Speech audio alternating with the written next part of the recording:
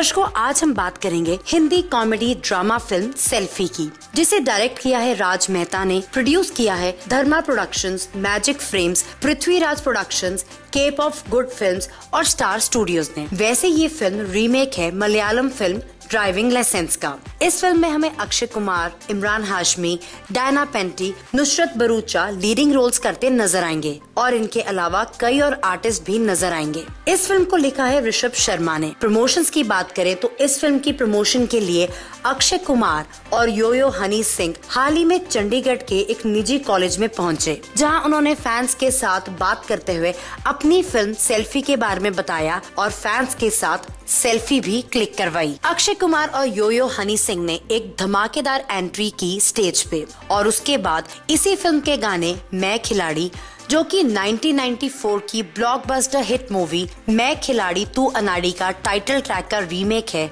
और कुड़ी चमकीली, जो कि योयो हनी सिंह ने गाया है, पे परफॉर्म भी किया। रिलीज़ डेट की बात करें तो सेल्फी मूवी 24 फरवरी को रिलीज़ की जाएगी। सेल्फी मूवी के लिए आप कितने एक्साइटेड हैं, हमें कमेंट करके बताइए और इस तरह की और अपडेट्स के लिए जुड़े रहिए पंजाब प्लस टीवी के साथ।